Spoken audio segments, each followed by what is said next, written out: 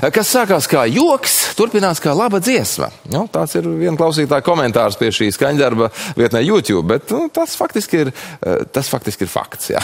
Tieši saziņā sociālajos medijos ar eh, klausītājiem ir aizvedos līdz dziesmai uz tukumu pēc smukuma. Un tās autors ir dziedātājs un mūziķis Edvards Strasdiņš, kurš tieši internetā saņēmis pamudinājumu uzrakstīt dziesmu par tukumu. Kā tas sācies un vai arī citkārt viņš gatavs izmantot klausītāju tiešos ierosinājumus, vaicāsim Edvardam pašam. Jā, labrīt! Labrīt! Un tad arī sveicināti, dargi klausītāji. pievienojas arī Lorenz Dāvis Ārgals ar kahonu un uh, Kaspars Gulbis ar akordeonu. Tā kā priekšnesums mums arī jau briest. Ja? Bet vispirms varbūt par to dziesmas tapšanas vēsturi, kā tas sākās no idejas līdz, eh, līdz ierakstam un uh, Jā, nu viss sākās ar uh, jau šī gada pavasarī, kad es tiktu kā pieregistrējos, sāku veidot saturu un uh, uzrakstīt dziesmu par Audi, uh, kas cilvēkiem ļoti patika. Un uh, tā es sāku uh, visādas joku dziesmas apdziedāt par automobiļiem. Es Audi vietā dziedāju dažādas automarkas, uh, un tad man cilvēki visu laiku jautāja, nu, vai uzrakst dziesmu par uh, to automarku, par to automarku. Dīleri vai vienkārši ne? Vai vēl sadarbība vēl nav Nē, nē, izveidojusies? nē. Bet, uh, jā, tātad klausītāji jautāja, lai uzrakst par to automarku, nu, vai par to. Un uh, tā es visu laiku jau biju pieredzējis, ka es tagad esmu automarku apdziedātājs. Līdz vienā brīdī man uzrakstīja komentāru, uzrakst dziesmu par tukumu. Liekas, ai, kāds neparasts piedāvājums. Es domāju, jā, davai. Uh, atcerējos veco labo sauklu uz tukumu pēc smukuma. Un kāpēc cilvēki brauc uz tukumu? Nu, droši vien tad jau, lai dabūtu to smukumu. Un tieši tāpēc nācās tikai un vienīgi šo sauklu, tā teikt, apdzījot. Nu, jā, tad tagad tev tas varētu sadarbība ar pilsētu asociāciju kāda arī būt. Nu, Tagad man nākamās- raksta, lai es tagad esmu automarku apdziedātājs, kļūst par pilsētu apdziedātāju. Nāks nākamās sērijas. Jā, bet eh, īstenībā tiešām varētu būt, eh, ka ierosinājumi nāk arī citām iespējamām dziesmām caur sociālo mediju platformu un šādu saziņu. Nu, droši vien, ka visām dziesmām atvērt vārdus tikai ārējiem impulsiem varētu būt pa daudz, bet eh, varbūt tomēr. Nezinu. Jā, tas man patīk, tāpēc šis te koncepts, ka veidojas tāda atgriezeniskā saite ar klausītāju. Un uh, tā tad rezultātā man ir iespēja sniegt to uzreiz klausītājiem, ko jau viņš vēlas, jau pārbaudot, ka tā tad, nu, ja it sevišķi, ja, piemēram, tas komentārs, kas, kur tas ir ierakstīts, ir saņēmis daudz patīk atzīmes, tad, uh, nu, tas ir skaidrs, ka cilvēkiem tad tas varētu interesēt. Un līdz ar to man jau kaut kāds nodoms ir, kur vadīties. tātad klausītāji droši var rakstīt tev sociālajos tīklos un varbūt tieši viņa ierosinājums kļūst par dziesmu. Bet, ja mēs skatāmies uz to braucienu, tekstā ieklausoties, nu, tad savu veidu brauciens pēc pašapziņas iznāk uz tukumu. Jā, es tur Jā. nebiju smuks un tā, un tagad es būšu labs un beidzot tā kā sevi Ļoti pareizi. Šis ir tā teikt, tāda nepašpārliecināta cilvēka palīgā sauciens. Uh, jo nu, cilvēks, nu, cilvēks ir zem pašvērtējuma. Viņam nabagam ir uh, visas meitenes, viņi ir jau atšuvuši jau šajā brīdī. Un, uh, nu, viņam, protams, tāpēc arī pašvērtējums ir tik zems, ka nu, viņš uzskata, ka viņš ir 3 no 10.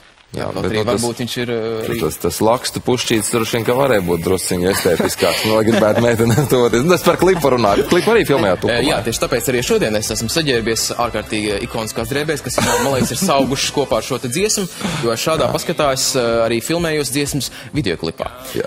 Un eh, par videoklipu runājot, tas bija ļoti. Ļoti interesants process, tāpēc, ka es šādā paskatā mēs uz ielas uh, piegājām klāt meitenēm, jo, lai sameklētu kādu, kas varētu piekrist piefilm, uh, safilmēties, jo tas nebija viss sarunāts. Tas bija nebija viss- sarunāts. Nekas nebija sarunāts, viss uz vietas notika. Un, un uh, jūs nevarat iedomāties, cik sarežģīti ir pieiet klāt meitenēm šādā paskatā. Nu, uzreiz tu, tu sajūti, cik būtiski nozīme ir tam ārējam tēlam. Jo es eju klāt, vai vēlos nofilmēties videoklipā. Nē, nē, nē, nē, uzreiz jau tā kā mūka pa gabalu jau nomāc faktiski. Nu, bet kā tas smuks sporta Nu, ietērs. man jau arī liekas, nu, ka tie ir- ir- nav. Nu, tad Jā. būtu jāklausās. Droši vien, ka mums ir eh, jādodas pie paša dziesmas izpildījuma, nu tad vienīgais, eh, varbūt kas, ko es pirms tam gribu pavaicāt, kāds tev plāns pašam tagad ir, vai vēl kaut ko tālāk radīt, jo drusku laikam arī trauma, jā, ir gadījusies, tā kā tad varbūt jāpiebremzē tagad kāds. Jā, nu es biju tik ļoti sapriecējies par dziesmas labajiem panākumiem, ka es izdomāju, ka varētu lēkt, bet uh, aizmirst izplatni. Kad sāku lekt. tas tā metaforiski, protams, Jā, runājot. jā, jā. Bet uh, tas neko nav apstādinājis. Es joprojām uzstājos un uh, cenšos neapstādināt šo, ja kas man tā kā ir vienkārši no tā, varbūt no rakursa, varbūt īpaši nevar redzēt. Bet viss tur Jā, nu izstās bīstam, no priekšas frontāli izskatās izskatās tā bīstam. diezgan neumolīgi, bet viss ir kārtībā un viss būs vēl labāk. Lai notiek. Un lai vēl labāk, kā saka, tas eh, es būšu labs, eh, piepildījums atnāk. Līdz ar šo dziesmu arī klausītāji. Paldies. Noklausamies. lūdzu. Viens, divi, trīs, četri.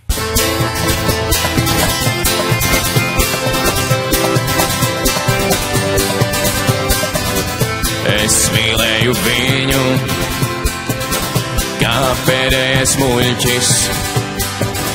Viņa teica, ka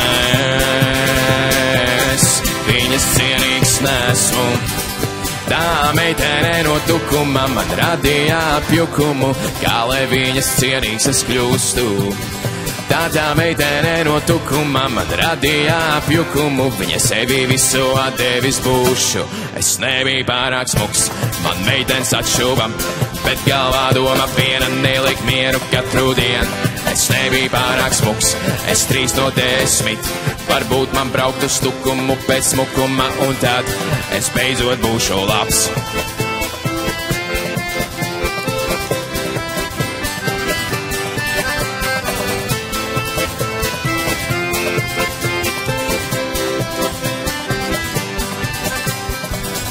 Lūdzu, atbildī man uz visām manām vēstulēm. Es rakstu, ka tu man esi vajadzīgām. Uz tukumu pasta nodaļu es vēstuli tev sūtīju, kur atzinos, ka mīlēju tevi. Tu teici man lietas mierā, mani paskaties spogulī, tu nesi nekāds brets, bits. Es nebiju pārāk smuks, man meitenes atšuva, bet galvā doma viena neliek mieru katru dienu. Es nebiju pārāk smuks, es trīs no desmit, varbūt man braukt uz tukumu pēc smukuma, un tad es beidzot būšu labs.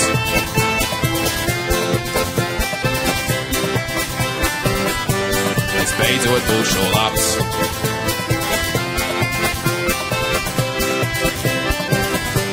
Es nebiju pārāk smuks, man meitenes atšuvam, bet galvā doma viena nelik mieru katru dienu. Es nebiju pārāk smuks, es trīs no desmit. Varbūt man braukt uz tukumu pēc smukuma, un tad es beidzot būšu, beidzot būšu, beidzot, beidzot labs.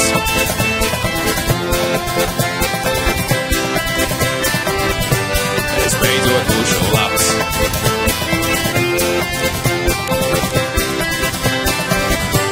Es beidzot būšu labs.